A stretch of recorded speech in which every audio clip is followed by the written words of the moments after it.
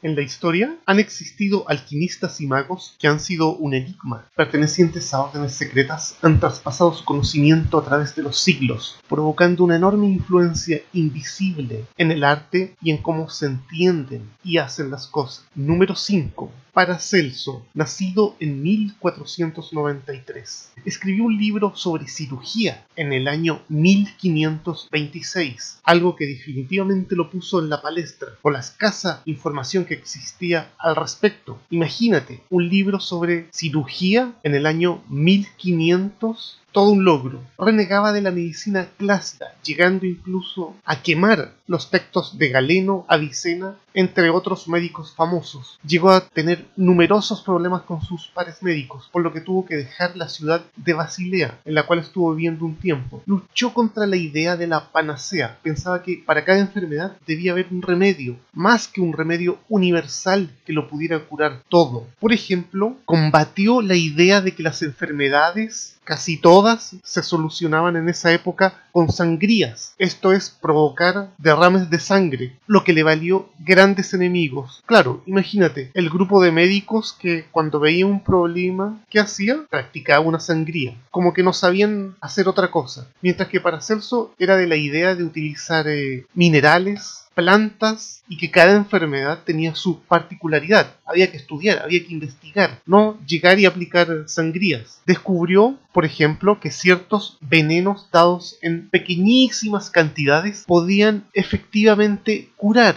la cual fue una de las ideas básicas y fundamentales siglos después para que Samuel Hahnemann hiciera la homeopatía. Número 4. Eliphas Levi. Nació el 19 de octubre en el año 1810. Nació con el nombre de Alfonso Luis Constant. Su libro más conocido es el llamado Dogma y Ritual de la Alta Magia, que escribió en el año 1854, que es precisamente el año en que adopta el seudónimo de Eliphas Levi Samet. Levi es un de palabras. Si lo pronuncias varias veces vas a llegar a decir evil, que significa malo. Un día, una misteriosa mujer se le acercó para conjurar el espíritu de Apolonio de Tiana. Estuvo de acuerdo. ¿A quién era Apolonio de Tiana? Era un griego más o menos contemporáneo de más o menos el año 50 después de Cristo. Elifas Levi estuvo de acuerdo con invocar a Apolonio de Tiana, ya que él pensaba que los espíritus permanecen en forma de energía en el mundo astral y se puede realizar contacto con ellos realizando ciertos rituales, a pesar de que a simple vista no se pueden ver eh, ni sentir. Después de una preparación de varios días, la que cual incluyó una dieta vegetariana, se logró la invocación. Luego de esto, Elifas Levi cayó totalmente inconsciente. Elifas Levi murió en el año 1000 1875, mismo año en que nació Alistair Crowley, quien después diría que es la reencarnación legítima de Eliphas Levi. Número 3. Robert Flood, nacido en el año 1574 en Londres, el 17 de enero. También se llamaba Robertus de Fluctibus. Publicó un libro entre los años 1617 y 1621 llamado Ultruisky Cosmi, quien fue dividido en dos partes, con 60 dibujos bastante intrincados. Escribió también varias enciclopedias, donde trataba un cúmulo de diferentes temas, como la astrología, la cábala, la alquimia, la relación de Dios con la naturaleza, pero también escribió sobre otras cosas más prácticas como mecánica, hidrología, maniobras militares, teoría musical, instrumentos, geometría, óptica, cómo dibujar y sobre química y física. Uno de sus libros más famosos es La historia de los dos mundos, escribió entre 1617 a 1621, compuesto de cinco libros en total. Discute lo que son para, para él los dos mundos, es decir, el microcosmos de la vida humana y el macrocosmos del universo, incluyendo el mundo espiritual. Así una semejanza entre el microcosmos y el macrocosmos, donde llegó una explicación correcta acerca de cómo funcionaba el sistema circulatorio humano, siendo el primero en describirlo realmente. Él decía que el corazón se correspondía con el Sol y la sangre equivalía a los demás planetas que circulaban alrededor del corazón es decir, del Sol, desarrolló una máquina de movimiento perpetuo, un sistema de memorización y además de un método de sanación a distancia.